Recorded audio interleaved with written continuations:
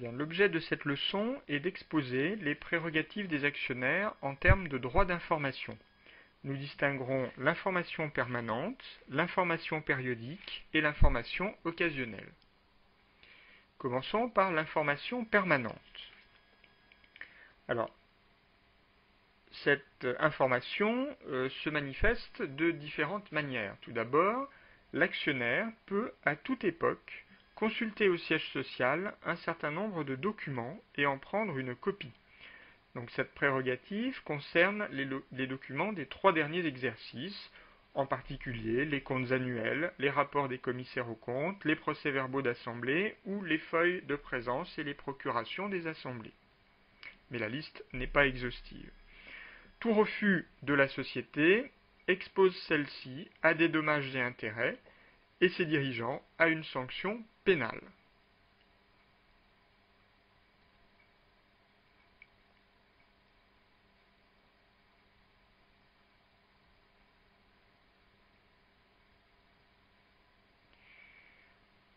Toujours concernant l'information permanente, le règlement général de l'AMF soumet le texte suivant. En fait, pour les sociétés cotées en bourse, l'obligation est encore plus large et concerne l'information du public sur tout fait susceptible d'avoir une influence sur le cours du titre. Tout émetteur doit en effet le plus tôt possible porter à la connaissance du public tout fait important susceptible, s'il était connu, d'avoir une incidence significative sur le cours d'un instrument financier. La violation de cette règle peut donner lieu à une injonction, voire à une sanction de l'autorité des marchés financiers. C'est au dirigeant de définir sous sa responsabilité quelles sont les informations sensibles auxquelles s'applique ce règlement. La difficulté sera d'apprécier l'impact que peut avoir une information sur le cours de bourse. Au moment de prendre la décision de diffuser ou non un communiqué, il faut savoir qu'en cas de problème, l'effet de l'événement sera apprécié a posteriori par l'AMF. Alors parmi les événements pouvant donner lieu à l'élaboration d'un communiqué de presse dans le cadre de l'application de ce règlement, eh nous avons la baisse de chiffre d'affaires ou de marge, une perte de part de marché, la conquête d'une nouvelle zone géographique, la réorganisation de la structure de l'entreprise, la signature d'un contrat, le lancement d'un important investissement, l'abandon d'une marque, le dépôt d'un brevet, le lancement d'un plan social, etc. Notons que l'entreprise doit réserver un traitement identique aux informations susceptibles d'avoir une incidence à la hausse et à la baisse. C'est ce que l'on appelle le principe d'homogénéité de l'information.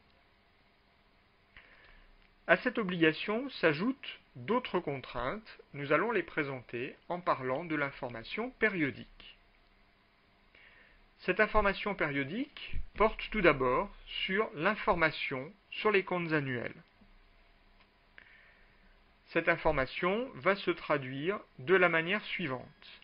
La publication de communiqués de presse, la tenue de réunions d'information, la publication éventuelle d'avis financiers par voie de presse, Internet ou radio, et obligatoirement la publication d'un rapport financier annuel au plus tard dans les quatre mois qui suivent la clôture de l'exercice. Mais également la publication d'un document de référence facultatif, la publication obligatoire d'un document d'information annuel. Ce document liste toutes les informations publiées au cours des douze derniers mois pour répondre aux obligations législatives et réglementaires. Il doit préciser où les documents peuvent être obtenus gratuitement, et il est souvent intégré dans le rapport financier annuel. On ajoutera à cette liste le communiqué sur les honoraires des commissaires aux comptes et les documents publiés au bulletin des annonces légales et obligatoires qui doivent être faits, publiés dans les 45 jours suivant l'approbation des comptes par l'Assemblée générale ordinaire. Ces informations sur les comptes annuels sont très attendues par les marchés et certaines sociétés arrivent à les fournir dès le mois de janvier. Il est clair que certaines entreprises recherchent l'effet d'annonce dans le choix de la date de publication de leurs résultats. Une publication rapide a bien évidemment des avantages. En effet, la rapidité est appréciée par le marché pour lequel elle est un signe de bonne gestion. Ensuite, cette rapidité répond aux souhaits de l'autorité des marchés financiers pour laquelle toute information pouvant modifier le cours de bourse doit être diffusée au plus vite. Toutefois, un effet d'annonce peut présenter certains inconvénients. En effet, les investisseurs et les analystes financiers ne peuvent pas comparer les résultats de l'entreprise avec d'autres sociétés. Ainsi, une baisse des résultats annoncés en début d'année peut entraîner la chute du titre et on peut s'apercevoir ensuite que cette baisse était relative par rapport à l'ensemble du marché. D'autre part, des prévisions non confirmées peuvent porter un coût à la crédibilité de l'entreprise. Donc plutôt qu'une date d'annonce rapide, les marchés veulent avoir des résultats conformes aux prévisions. C'est le meilleur moyen pour maintenir le cours du titre. C'est pourquoi de moins en moins d'entreprises publient des comptes provisoires. D'une manière générale, lorsque l'entreprise s'aperçoit que les objectifs annoncés s'éloignent à la hausse comme à la baisse des résultats attendus, elle doit faire une alerte sur résultat ou profit warning pour avertir les marchés.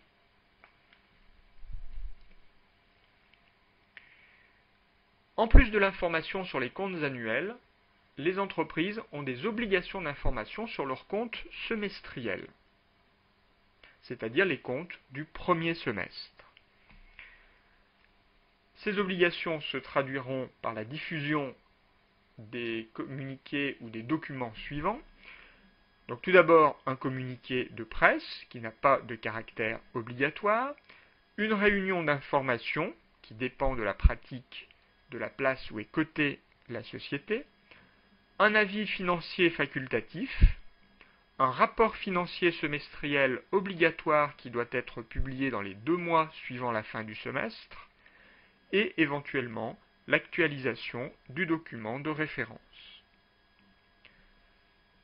Enfin, l'information périodique portera sur l'information trimestrielle, puisque dans les 45 jours qui suivent le premier et le troisième trimestre, une information financière doit être diffusée sans aller jusqu'à la publication des résultats semestriels, aucune forme n'est imposée, un communiqué de presse peut donc parfaitement faire l'affaire, toutefois, on attend des données dites narratives, c'est-à-dire des événements importants ayant eu lieu pendant le trimestre et leur incidence sur la situation financière de l'entreprise, et des données quantitatives, à savoir le chiffre d'affaires net par branche d'activité et son évolution. Notons qu'un communiqué de presse facultatif est souvent publié pour le deuxième et le quatrième trimestre. L'AMF, quant à elle, vérifie le respect des délais et publie sur son site le nom des sociétés qui ne les respectent pas. Venons-en maintenant au troisième point de ce droit d'information, à savoir l'information occasionnelle. Cette information occasionnelle repose essentiellement sur deux documents. Le document de référence et la note d'information. L'ensemble constitue ce que l'on appelle le prospectus. Le document de référence est un document soumis à l'enregistrement de l'autorité des marchés financiers qui contient l'ensemble des informations juridiques, économiques et comptables permettant une présentation complète de la société. Ces documents de référence sont en particulier consultables sur le site de l'AMF. Une fois ce document enregistré, il permet, lors d'une opération financière, de n'établir qu'une courte note d'opération qui obtiendra le visa de l'AMF très rapidement dans les 48 heures. La base du document de référence peut être le dernier rapport annuel publié, auquel on rajoute quelques rubriques réglementaires ne figurant pas dans le rapport annuel, et il sera alors valable jusqu'au prochain rapport annuel. Dans ce cas, le document de référence inclura un tableau de concordance ou tableau de passage permettant au lecteur d'identifier à quel endroit du rapport annuel se trouvent les informations. C'est donc la présence d'un tableau de, concordance dans le document qui nous indique que l'on a bien affaire à un document de référence. Ce document de référence est tenu gratuitement à la disposition du public. Vous l'avez compris, il présente donc plusieurs avantages. Tout d'abord, il permet de lancer une opération financière plus rapidement et d'autre part, il est pour les analystes et les investisseurs institutionnels français et étrangers un signe de transparence de l'information financière et une source d'information standardisée. Notons que pour faciliter la compréhension de l'information financière par le grand public, l'autorité des marchés financiers a développé la pratique des résumés des documents de référence. Parlons maintenant de la note d'information. Les sociétés cotées qui souhaitent réaliser une opération faisant appel public à l'épargne doivent établir et diffuser une note d'information visée préalablement par l'autorité des marchés financiers. Cette note d'information contient tous les éléments nécessaires pour que l'investisseur se forge une opinion sur l'opération. Le visa délivré par l'autorité des marchés financiers n'est ni un label de qualité, ni un jugement de valeur sur l'opération ou sur la gestion de la société. L'AMF n'apprécie pas le montant du prix offert, son rôle étant simplement de s'assurer que l'opération ne comporte pas d'irrégularité, qu'elle ne s'accompagne pas d'actes contraires aux intérêts des actionnaires et qu'elle est assortie d'une information satisfaisante. Par ailleurs, l'AMF peut compléter son visa par un avertissement afin d'attirer l'attention des souscripteurs sur un risque particulier. La note d'information doit donner lieu à une diffusion dans le public sous l'une des formes suivantes. Publication dans un ou plusieurs journaux d'information économique et financière de diffusion nationale, envoi gratuit d'une brochure à toute personne qui en fait la demande. D'autre part, l'entreprise doit faire paraître un avis au bulletin des annonces légales et obligatoires pour faire connaître au public l'adresse à laquelle le prospectus peut être consulté et à laquelle une copie peut en être obtenue.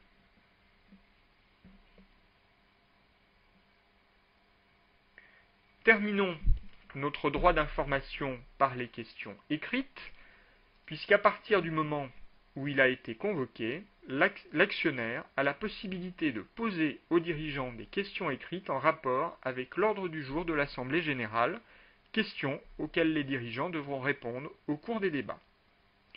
D'autre part, tout actionnaire représentant au moins un dixième du capital social peut, deux fois par exercice, poser par écrit des questions au président du conseil d'administration sur tout fait de nature à compromettre la continuité de l'exploitation. C'est ce que l'on appelle son droit d'alerte.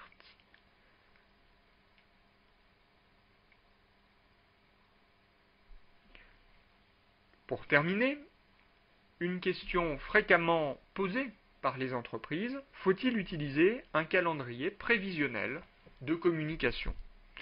Les avis des entreprises sont assez partagés quant à l'utilisation de ce calendrier prévisionnel de communication, qui est une pratique pourtant assez courante dans les pays anglo-saxons.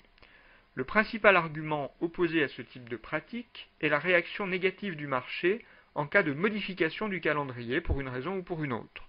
En effet, celui-ci met en évidence tout retard et suscite ainsi des rumeurs, voire des explications parfois inutiles. En revanche, la publication d'un calendrier est très appréciée des utilisateurs de l'information. En pratique, s'il est publié, il doit être mis à jour sur le site web et il est souvent reproduit dans les communiqués de presse. En résumé, une année de communication financière pour une société de l'Eurolist pourra se présenter de la manière suivante. Nous avons ici un axe des temps sur lesquels ont été reportés en rouge les éléments obligatoires relatifs à la communication et à l'information des marchés, et en vert les éléments facultatifs. nous supposons que la clôture des comptes a lieu le 31 décembre. Parmi les éléments obligatoires, nous retrouvons à leur date limite un certain nombre de réunions et de documents qui doivent être publiés. Par exemple, au plus tard pour le 30 avril doit se tenir la réunion du conseil d'administration arrêtant les comptes. Nous trouvons au plus tard le 30 juin la tenue de l'Assemblée générale ordinaire ou fin septembre la date limite pour la distribution du dividende. Dans les éléments facultatifs, eh nous trouvons par exemple la publication du journal d'entreprise, des lettres aux actionnaires ou le versement d'un acompte sur dividende. Toute l'année, le responsable de communication financière aura réalisé également un certain nombre de tâches, comme la diffusion des communiqués de presse, la mise à jour du site internet, avec la diffusion de l'information réglementée et son archivage, ou la mise en place d'un numéro vert pour le service actionnaire.